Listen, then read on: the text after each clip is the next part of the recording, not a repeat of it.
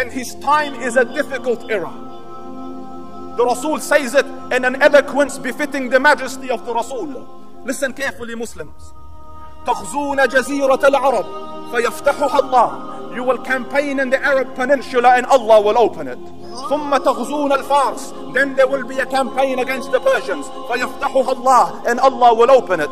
ثم تغزون الروم Then there will be a campaign against Rome and Allah will open it. ثم تغزون الدجال فيفتحه الله Then the Dajjal will come and Allah will open it and then will let you conquer it. So the age of the Mahdi is an age of intense struggle.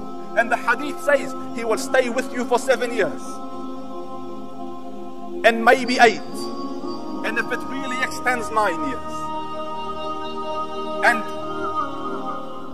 at the last campaign, the Muslims will come. And the other side, its opposition, will come to face it. And the opposition is so huge 80 banners, 80 different flags. Under each flag will be 14,000 men. Is it 14 or 12? 12,000 men. I've said 14. If they've got it wrong, that's their thing. And um, anyway, so between those two. When the two sides meet and the Muslims see this, a third of them will run away. And the Prophet ﷺ says, Allah will never accept their repentance ever because running away reduces and destroys the morale of everyone standing.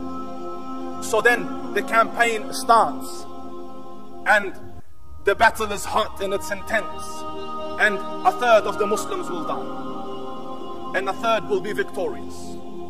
Just a third will be victorious and they will be there on the battlefield collecting the remnants and the booty of war. And the hadith says from one tribe 99 have died and one person is left.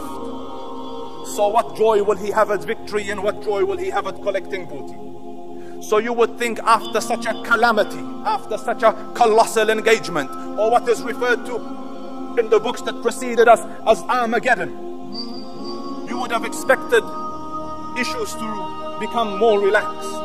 Yet, as they have just become victorious and are collecting the things of the battlefield,